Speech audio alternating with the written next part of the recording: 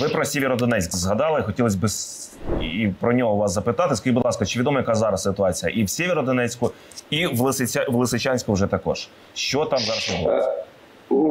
Е, дуже сильно інтенсифікував е, застосування артилерії по Сєвєродонецьку, по укріпленнях наших збройних сил, і також по Лисичанську намагається взяти під е, повний контроль трасу Лисичанськ-Бахмут. З боку Попасної активізував свої наступальні дії. Але наші захисники в Сєвєродонецьку, в Лисичанську, на цьому Бахмутському напрямку держать фронт. Тобто якихось успіхів у ворога точно немає. Більше того, наші захисники в Сєвєродонецьку потрошки відвоюють територію. Там дуже багато наших е, е, сил спеціальних призначень, е, які виконують ефективно ту задачу, яку перед ними поставили.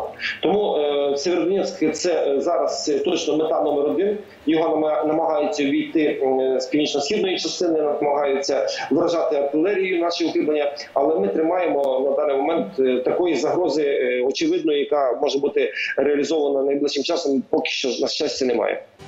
Фронт, політика, економіка, життя. Найголовніші новини та гострі теми тижня. Щонеділі 20.30. Ютуб канал Україна 24.